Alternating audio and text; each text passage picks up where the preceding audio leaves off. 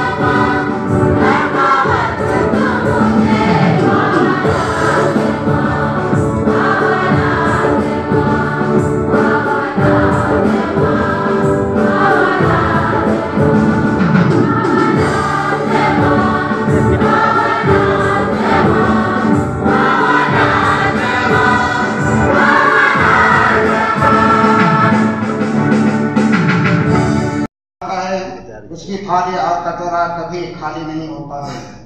ईश्वर की कृपा हमेशा बहती रहती है। और फादर निकोदिन मिल्किसदेक की तरह सदा पुरोहित बने रहेंगे। अब से हम सब फादर कहकर पुकारेंगे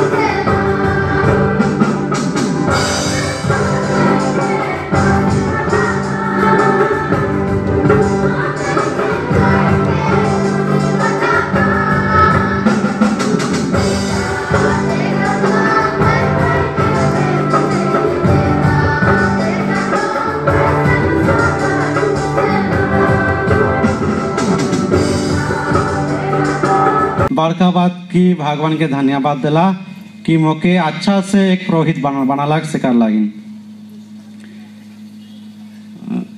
एखान मोर कहानी की हले बहुत लंबा चौड़ा हो जाए वह लागे हैं डायरेक्ट मैं आजकल सुषमाचार